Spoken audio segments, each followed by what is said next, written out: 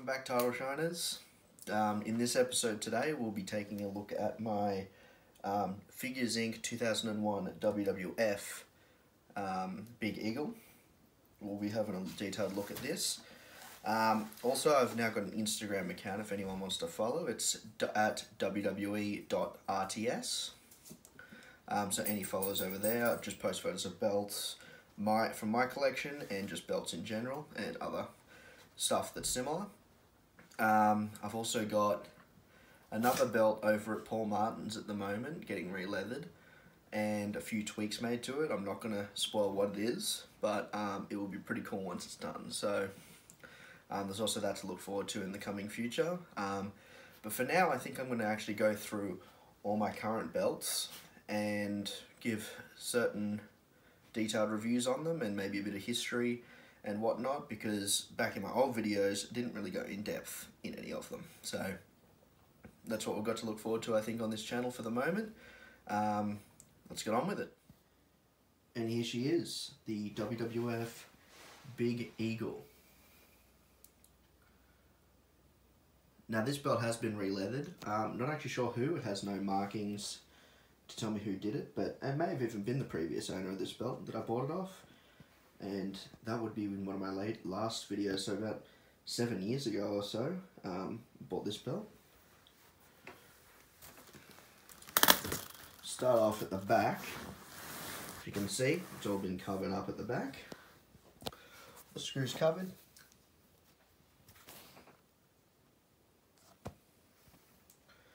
and I'll tell you what, it's a very clean finish when it's done properly at the back. Um, little mark there in the leather. Nothing to con be concerned about though.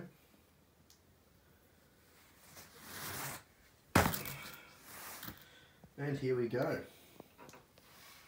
Now first of all, as I think most of us can agree on, it is a stunning design for a belt. Um, it has these side bars that are actually attached to the plate. So that's just paint, not an actual gap. But it obviously pays homage to the uh, winged eagle that came before this. Okay, so I'll start on the end here. So we have a nice snap box here with some nice tooling. The leather itself, when it's real leather, it's my only real leather belt at the moment, um, just so much more shinier and it's just so flexible, I mean, in comparison. I'll demonstrate that soon. This belt does have two millimeter thick plates um, with the white painted WWF logos on the side plates, but not on the center plate. Now this is how the replica belt came, but the gold logoed version actually had gold logos all around and a fully gold six plate. Um, and that was debuted by The Rock the night after Survivor Series 1998 and lasted all the way up until the white logo version, which had white logos like these and also a white WWF logo on the main plate. And that debuted one week before No Way Out in 2000. Um, that was held by Triple H at the time. And that ended up going on um, until it was changed to the Undisputed Championship in 2002, the night after WrestleMania 18. We have the Lion here, which pays, which you can see um, is also on the Undisputed Championship. So obviously that took from this. So I do love how there's an evolution in all the belts. So sort of step by step paying homage back to the previous belt or even previous belts. Um, very cool little touch. You got another white WWF logo.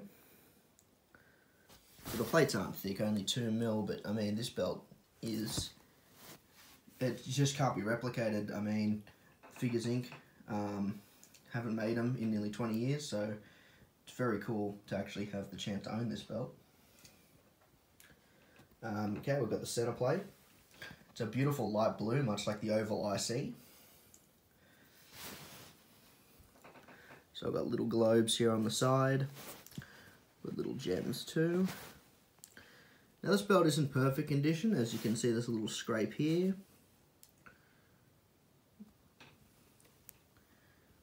but it all just adds to the charm in my opinion. And then of course we have the Big Eagle, which I think the Eagle on belts just looks phenomenal personally. We have the globe in the center, with obviously, as to be expected, a bit of paint spills over the um, longitude latitude lines. We have World Wrestling Federation, which realistically, as we know, that um, gives the belt all its value.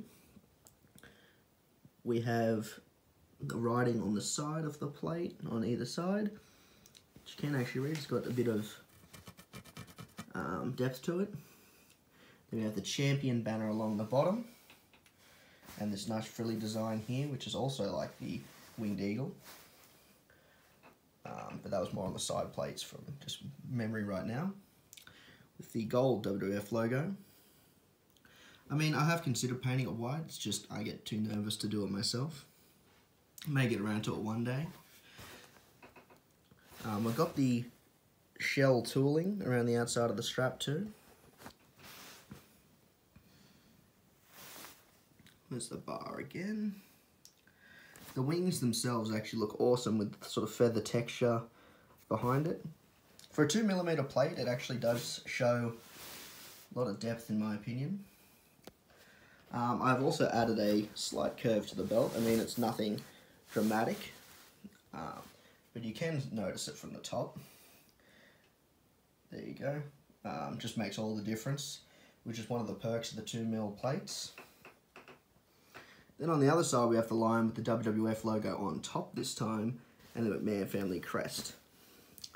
I believe the real one actually had the white background instead of the white lions, but there you go. Um, the text you can actually kind of read. Not sure if you can see it. But um, it's better than the Undisputed version 2, the old uh, original version that I've showed the comparison video of which is now actually sold.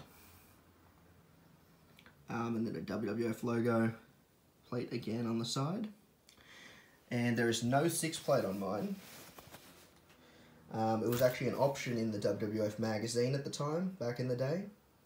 Um, so I've just actually got the five plate version, which I don't believe there was one on TV, but um, this is a bit of a hybrid anyway, with the white logos and the gold logo in the middle. A bit of a hybrid of all versions, um, excluding the block logo version with the blue strap.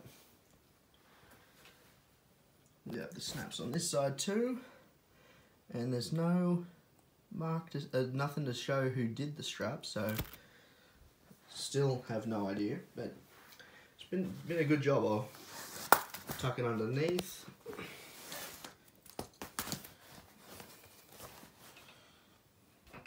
Go, sits a lot flatter than your replicas do.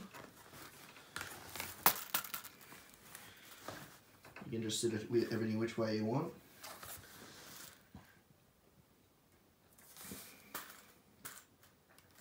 I do definitely see the value in the real straps. Um, there we go on the shoulder, nice size belt almost as tall as the Undisputed, uh, center plate wise, but definitely not um, as wide.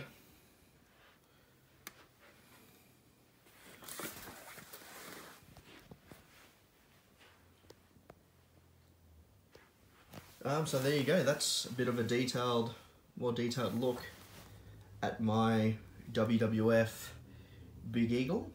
Um, I hope you enjoyed watching and look forward to filming the next one for you guys. Thanks again for watching guys.